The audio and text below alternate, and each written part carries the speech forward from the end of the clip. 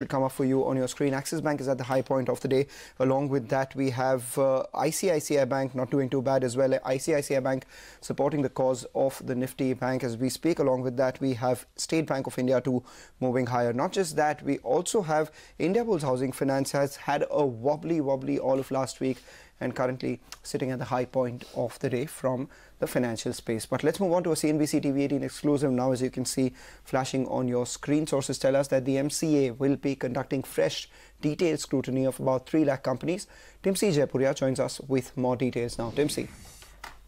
Well, as you rightly mentioned, uh, what we understand from sources is the fact that the government is now going to conduct a fresh round of detailed scrutiny of over 3 lakh companies. Government has identified these 3 lakh companies on the basis of the mandatory KYC norms, uh, which these companies did not comply to. Uh, remember, government had come up with these norms, uh, which had a deadline of June 15. And post June 15, close to about 7 lakh companies have already complied to these norms. And the remaining uh, one, uh, what government feels that another 1.5 lakh companies are expected to join in the system uh, by complying to these norms in a month's time. And the remaining 3 lakh companies are those where the intention of these companies is not correct, where they feel that these could be dormant and shell companies who, are uh, dealing with a lot of unidentified and unaccounted money, and thus a detailed scrutiny is warranted against such 3 lakh companies. The entire exercise will be based on the red flag indicators that government has set uh, to identify these companies. And government is very clear that in a month's time from now, they will start this detailed scrutiny based on these indicators through the system, and they would like to weed out these companies as soon as possible. Timsi, thanks a lot for that. Definitely, the street will keep an eye out on how that pans out, and they would like to weed out all these companies as uh, quickly as possible. Meanwhile, the market's trying to gain as quickly as possible as we speak as well, very close to that 11,800 mark for the Nifty. Hindalco is the one which is moving higher as well. We've spoken about some of the banks, but ITC has also aided its cause or lending, lending its shoulder to the Nifty. Along with that, we have GAIL, which has moved higher. Kotak Mahindra Bank not doing too bad as well and uh, UPL has recovered from the lows. The small cap index, in fact, as we speak, has also moved to the high point of the day. The mid cap index, while it is underperforming with a gain of just about 100 points as against uh, the other indices, which are three quarters of a percent in the green, we have the mid cap index, which is underperforming with a gain of almost half a percent. Uh, the European markets, they should come up for you right now as well, because all through the day we have been outperforming the Asian as well as the European markets. So let's see if there has been any spike in the European markets. Uh, well, no, none such. In fact, most of those indices are in the red still, hovering closer to the lower end of today's trading range. So this outperformance is purely domestic. We'll keep an eye out on how the last hour of trade pans out. That will be fairly interesting. So we wrap up on the show now, but uh, you do remember to re email us all your queries. We'll address them with our experts. Stay tuned. Closing bell comes up next.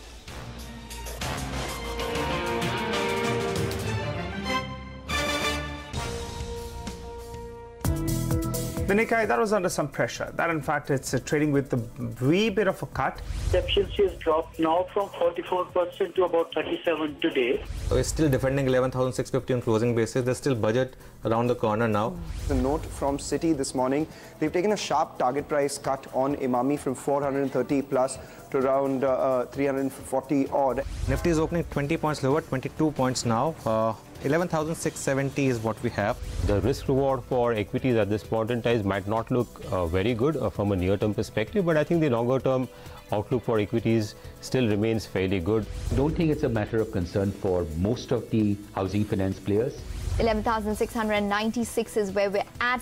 This could add around 200 crores to the company's bottom line, and that could be a substantial number of around 20%. First high-level engagement between India and uh, the United States. Mike Pompeo will be here tonight. The market is sitting at the high point of the day, and a couple of heavyweights are moving higher, and that is what is really helping the cause. okay, so strong day for the market. What a powerful short covering bounce we are seeing. And once again, just respecting the boundaries is working. This morning, 11,650 was respected. And from that point, it's a one-way rally that we have seen. Crucial last hour coming up. We've seen what the market has done in last hour for last couple of days. Could today be different? We'll find out. Uh, But for now, very strong pullback is what we're seeing right now. This closing bell. I'm Anuj, and with me Surbhi. Hi, Surbhi. Good afternoon. Good afternoon, Anuj. I'm just flabbergasted. I'm like, where is this coming from? Because, um, you know, it's not really expiry day that Yeah. typically you'd think on, on Thursday this kind of a trade plays out. We don't have any great global cues, no fresh new trigger or development in this market. So, I mean, how do you look at whatever the screen's done today? Again, a reminder that if you Mm-hmm. respect the risk reward that this market has offered you, you will make a lot of money in this market. Mm. You could, you know, it does not matter where it, you know, has come from. as long as you know the texture was intact, which is that Mm. you again had a bounce from 11,650 in the morning. That level was respected once again. And if, as a proper risk reward trader, you would have just put a stop loss at that mark and taken a long trade, the market's rewarded you. Yeah. And you know, again, if you go towards 11,850, perhaps the reverse trade will once again work, and we will not know the trigger. But essentially, this is still a range bound market which has a well defined boundary 11,650 to 11,850. You went to 11,850, didn't break it, came down to 11,650, again didn't break it, and now you are once again back in the middle of that range. Uh, the bank nifty is seeing powerful short covering. Uh, last hour could be crucial because this is expiry week. Uh, is there going to be more short covering? We'll find out. But uh, it's not one of those roaring bull markets, Surbhi, where you get you know trending days like you know a 500, 600 point Nifty day or a 150, 160 point nif- you know uh, Nifty day or Bank Nifty day, the the, the like likes of which we used to see some time back. The only example I have of recent memory is the last Thursday when you had that expiry. that was the expiry That weekly move. expiry, that move. Uh, but uh, I don't know. Uh, this the problem with this market is that the rallies are vulnerable to be sold into. Uh, so for last hour, that risk is always going to be there. But for whatever it's worth, today's been a powerful short covering. Absolutely. And as of now, the sellers absolutely have had no headway in this market because uh, the market's just moved one way and that's up. We don't have the kind of volatility that we were dealing with yesterday. So is this how it's going to play out till 3.30? We will find out. Let's get started. You're watching Closing Bell. And here's what's lined up. It is green across the screen with the market at the day's high, driven higher by heavyweights like RIL and the HDFC Twins, even ICICI Bank for that matter. Lots of heavyweights on the upside today. Uh, we will be discussing a lot of the trends and also the mid-cap moves with today's uh, experts. We have Mr. SP Tulsian of sptulsian.com, market expert Amrish Baliga, and Sudeep Bandopadhyay of Inditrade Capital joining in. Now, with the market trying to bounce back from recent lows, what are the next steps and the next triggers ahead? And from a portfolio standpoint, how does uh, the next uh, uh, next couple of months look like? Shailesh Raj Bhan, Deputy CIO Equity at Reliance Mutual Fund, with us on the show today. Now, of course, uh, global headwinds and a lot of the geopolitical tensions are still keeping a lid on global markets. Where does that place India from a medium term context? Sushil Kedia reading the medium term technicals for us uh, a little closer to 3 o'clock. And of course, as always, lots of trading ideas coming your way with the technical experts Ashwani Gujral and Mitesh Thakkar.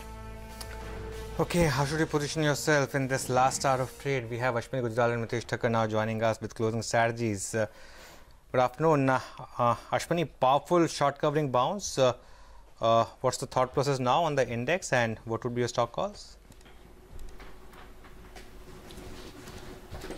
See, it is powerful, but not as powerful as Thursday was. So basically, my sense is that uh, still in this 11,650, 11,850 range, and uh, we had middle of the day said that we'll probably close uh, towards the highs of the day, but um, it's a rally which is not too strong. An upswing is a much better word, and uh, chances are last hour, uh, last one hour, you should see a bit more short covering. However, uh, if you have uh, long positions and you're making 200 on Bank Nifty and 50 70 on Nifty, this could be a good time to take profits as well. So that way, uh, I would think the 90% of today's rally is probably done. Individual stocks, uh, BPCL is a buy with a stop of 374, target of 390.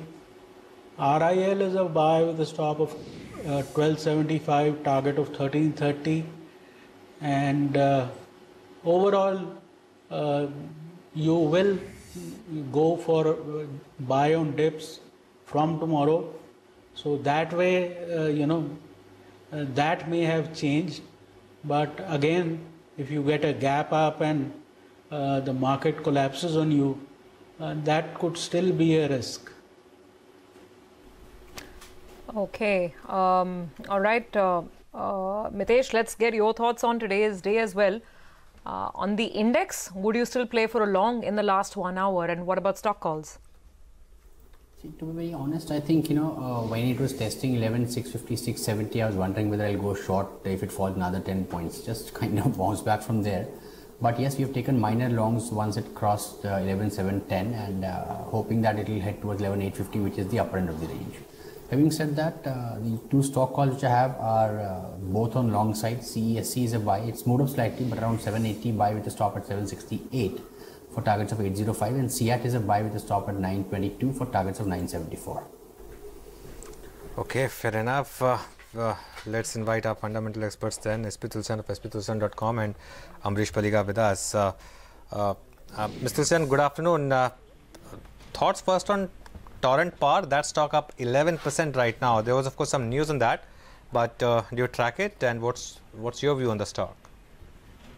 Senuj, in fact, we have been giving buy call on these two power stocks. In fact, when I was asked that which are the two companies, I've said that CESC and Torrent Power can be looked into.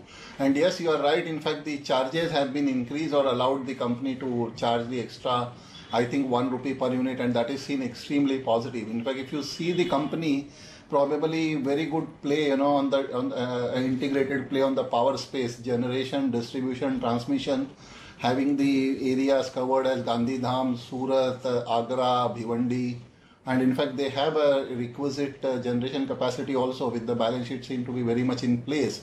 In fact, Torrent Power is the is the effect of the merged, you know, four five years back when Surat Electricity and Ahmedabad Electricity also got merged. And in fact, yes, we have been keeping positive bias on the on the stock, but I think after 11 uh, having been given buy call for last couple of months on the utility space, I think this is a time that one can book profits for the for, for the for the short term and again look to buy at the lower level. But yes, the things are seem to be the effect of the increase given to the company by the regulator in the in the in the distribution space. Okay, Torrent Power definitely hitting the highs today, 11% up on that stock. In fact, the mid cap market has so shown some signs of life. For instance, look at something like a Canfin Homes, which is right now at the day's high, 3% up on that stock. Uh, you have momentum on something like Adani Enterprises. Uh, some of the banks like Allahabad and Syndicate, they have found uh, buyers today. So at least there's some life in the mid-cap market. We also have Amrish Baliga with us in the conversation this afternoon. Amrish, uh, thanks for joining in. Yeah, good afternoon. Um, so let me actually ask you about some of the mid-cap financials that at one Right. point used to be the, you know, the toast of the market. Uh, how do you look at some of the NBFC names like Canfin? Canfin is also deal-oriented because Right. you know we don't know what happens to the Canara Bank stake. Yeah. But um, some of these stocks. Uh, see, I mean, the way to look at some of these stocks is uh, whether they are survivors or whether they are the victims. And uh, clearly, we have seen most of the vict- victims actually going under. Uh, DHFL clearly is one major case. Uh, but then uh, going ahead, uh, I mean, the survivors finally will surely get a better valuation than what possibly they've been getting in the last uh, six months to 12 months. And at the same time, uh, I mean, uh, even uh, the business for them would be better because there would be a consolidation in the space. So I think uh, we could see uh, issues possibly over the next two to three quarters. And, and, and I think by, uh, by that time, we will see most of the issues getting uh, cleaned up. And I think that is the time to possibly look at uh, these stocks uh, to pick up. But again, I mean, here I would surely stick to the better names. Uh, I mean, stocks like uh, uh, LIC Housing. Uh, I mean, if, if, you're talking if you're talking of housing, then clearly it's LIC Housing, HDFC. I think these are the two stocks to be looked at. Okay, well, some of these stocks, of course, have done well. Today's other big move is happening in cement, especially India Cement. Up 8.5%. Amrish, good afternoon. Uh, Good afternoon. Thoughts on cement, or I mean, in particular, say India Cement? Uh, see, uh, cement. I have been bullish for a while, and it's actually played off decently well. And uh, clearly, I mean, the focus is there on infrastructure. And uh, again, uh, I mean, if you look at the sort of infrastructure rollout which can happen over the next four or five years, especially to actually pump up the economy. And now, since there's again a talk of funds being released by RBI from the capital reserve again, most of that will finally go into uh, infrastructure and uh, uh, I mean. Uh, government focus areas because that's the only thing which can actually perk up the economy and if infrastructure actually takes off then you, we are talking of cement and uh, because of which I've been in fact su suggesting Ultratech for a while uh, I mean that's done decently well. My other pick was Ambuja, which has been more of more of a laggard, but I think even at these levels it makes a lot of sense. And uh, JK Lakshmi is the third one, which I've been advising. Okay, so those are a couple of cement picks that uh, has in mind. Uh, let's pull up tire stocks. Again, it's sort of a news-driven move that we've got on them. So you were seeing MRF, uh, CEAT, JK Tyre. All of these names are up and about between 2% and 4%. Uh, that's been the move. But Mr. Tulsi, I mean, countervailing duty might come. That's okay. Some protection against China. But these stocks have really destroyed a lot of wealth this year. Uh, and maybe even with the auto sector itself in slowdown mode, is there any sense in looking at them uh, from a portfolio point of view? See, Surabhi, you get to make money when the when the stocks gets uh, beating and you know correct to a or, or maybe the because of the extra pessimism seen we having built in. The case in point could be Emami. Yesterday afternoon in the show, I've said that this looks a very good buy at 270, and today see the share price having moved to 290 coming specifically on tire industries yes the cvd will definitely be playing a positive. And mind it that once the cycle in the oem sales starts picking up then all tire stocks will will will will, will start moving up. And the advantage with the tire is that they have the replacement market also and if you see the destruction having taken place in the valuation, whether you talk of CEAT, MRF, or Apollo Tyres or JK Tyre for that matter, in fact, all of them seem to be disproportionate to the to the fall in the in the financials of the company. And yes, the crude having uh, softened to $65, I'm not taking a day-to-day volatility which used to rule at about $75 is seen quite positive for the for the for the tire makers also. So if you have this CVD even on the 16 inches above on, on the radial tire of the wheel rim, even that is seen quite positive that yes, the things that the government is very much concerned for protecting these industries, which is very much required.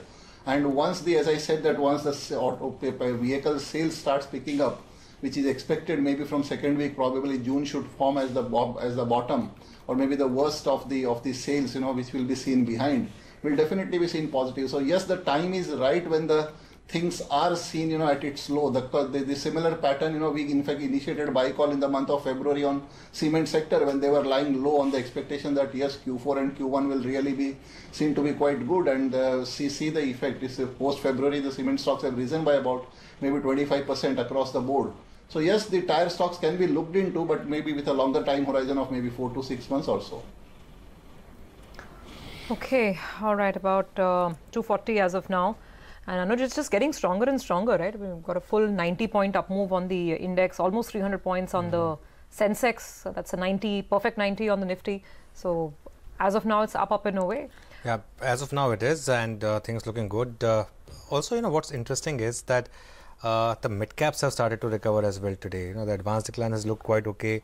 And, you know, there's a set of stocks which are in a bull market of their own, like Manappuram. mm. that's doing well. Uh, uh, again, you know, it's uh, the, respecting the boundaries. Uh, that's all. I, you know, till the Nifty breaks 11,850 or 11,650, we'll keep talking about. You know, uh, you know, on these days we'll keep mm. talking about the market surging. On days like yesterday, we'll keep talking about the pessimism in the market. But ultimately, it's a band. Ultimately, it's a 200 it's point band. Exactly. Okay. All right.